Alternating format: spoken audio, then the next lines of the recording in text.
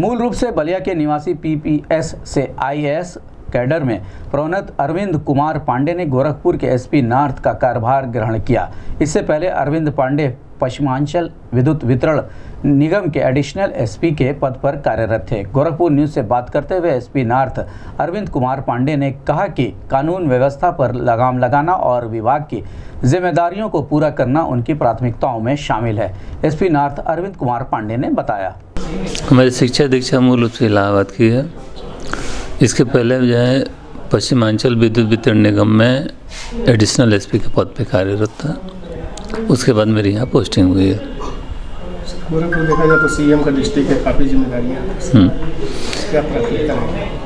है जिम्मेदारियाँ हम लोगों के लिए सम्मान की बात है और इस सम्मान को जो है सम्मान की बात है प्राथमिकता कानून व्यवस्था नियंत्रित करना अपराध नियंत्रित करना और मुख्य जन रूप में इस जनपद में जो है वी का जो है आगमन होता रहता है। तो ये सब हमारी प्राथमिकता है कि हम अपने सभी काम अच्छे से संपन्न करेंगे। मूल रूप से कहाँ जाना मूल रूप से हम बलिया जनपद के रहने वाले हैं। तो तो है।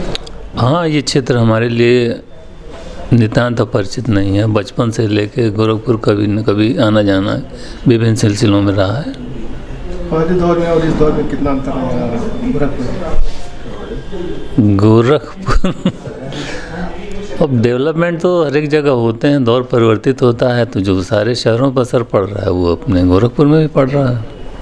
तो खुशी यहाँ की जनता से आप कहना चाहेंगे? हम आपकी सेवा के लिए दिन रात प्रतिबद्ध हैं और आप लोगों का सहयोग जो है अपेक्षित है हमें अपने कार्यों के सुचारू संपादन के लिए। क्योंकि पुलिस की सर्विस ऐसी है कि जनता के का सहयोग इसमें बहुत महत्वपूर्ण होता है।